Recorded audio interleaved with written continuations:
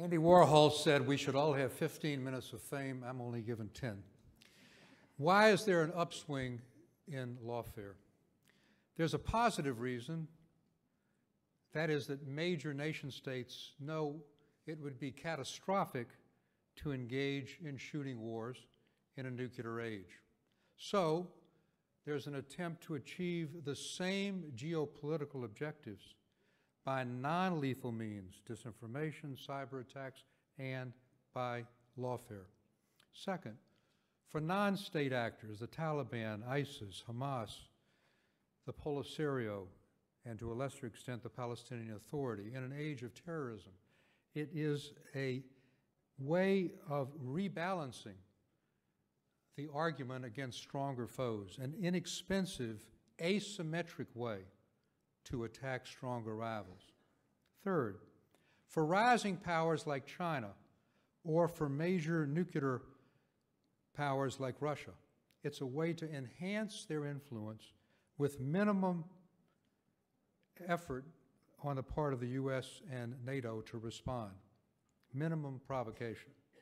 For the U.S., in an age of terrorism, it's a way of striking back at terrorists and of flexing economic muscle backed up by the dollar and putting unparalleled economic pressure, as we've seen in this administration, at better terms of trade or better international agreements, even if it means totally and abjectly uh, abandoning international norms and best trade practices.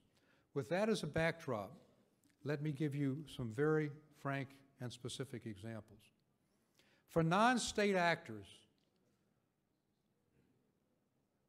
the Taliban and ISIS, whether it's in Syria, Afghanistan, or Iraq, use human shields as a way of protecting themselves against the full brunt of Western response, knowing that the West, the U.S., NATO, tries to abide by the law of armed conflict and to reduce the degree to which military intervention harms civilians. So they embed themselves in civilian neighborhoods. Hamas shoots its rockets at southern Israel from densely populated civilian neighborhoods. In addition, if we go from there to Morocco, the country we're in, the conflict over the Western Sahara has been made a part of lawfare by the Polisario, backed by Algeria, trying to deny Morocco the opportunity to exploit the natural resources both in Morocco and offshore with fisheries by using legal attacks. This has gone to the UN, it's gone to the European Union, it's gone to the European Court of Justice, and in general, the UN has sided with Morocco and said that as a self-administered territory, as long as Morocco uses the resources and revenues from its exploitation of these resources for the people in the Western Sahara, it's appropriate. And yet, just this very year, 2019, the European Court of Justice, reversing itself from 2018 said no, it was illegal. This was ignored by the European Parliament and the European Commission. That cleared the way for a EU-Morocco fisheries agreement. But again, it's an example. And just last year, a South African court in 2018 upheld South Africa seizing a cargo ship full of phosphates made by OCP, mined by OCP and kept it there until great political pressure was put in releasing it. The Palestinian issue as a non-state actor is more complicated. I have negotiated during the Clinton administration, when I was responsible for the peace process's economic dimension, more than a half dozen times with Chairman Arafat. I spent a great deal of time both in Israel and in the territories, and to its credit, the Palestinian Authority does not resort to the kind of violence that Hamas, ISIS, and the Taliban do. Indeed, they cooperate with Israel on security issues. But they have turned to lawfare from their perspective as a way of gaining a two state solution they can't get at a negotiating table. But from Israel's perspective, it is nothing short of the use of lawfare for what is called BDS boycott, divestment, and sanction. This began in 2001 at the Durban Conference on Racism, in which NGOs were activated by the Palestinians to isolate Israel, to call it an apartheid state. And in 2005, the BDS movement formally started with across the board efforts in the UN, in US courts, in every forum possible, in Belgium, in the Netherlands, to sanction Israeli officials, bar them from coming in, sanction Israeli companies. I could give an hour speech just on this alone.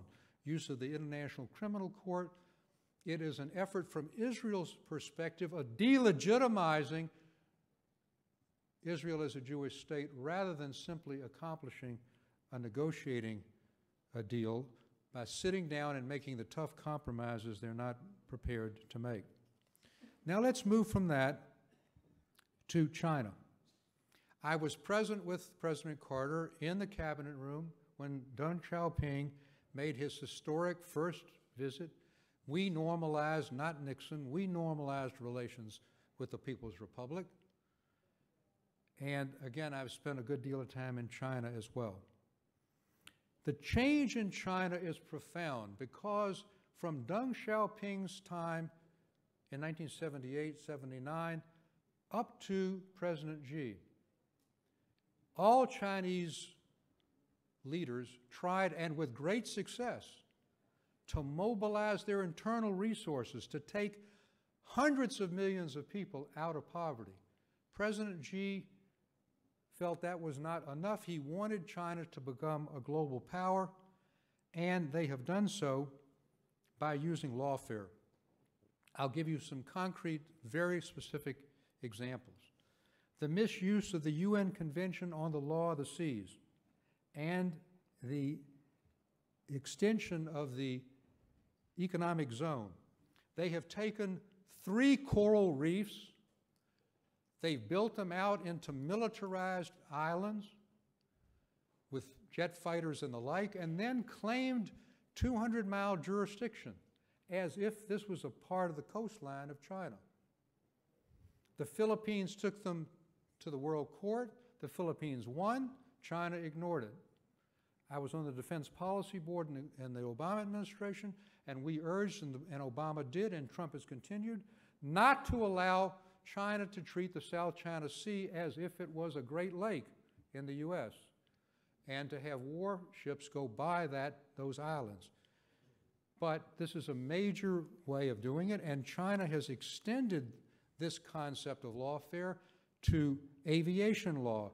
For example, with the Chicago Convention on International Air Travel, they have taken this concept of militarizing the islands they claim as theirs, as an extension of their coastline, and have gone up and said you can't go over these islands by using U.S. planes without our permission, or Western planes.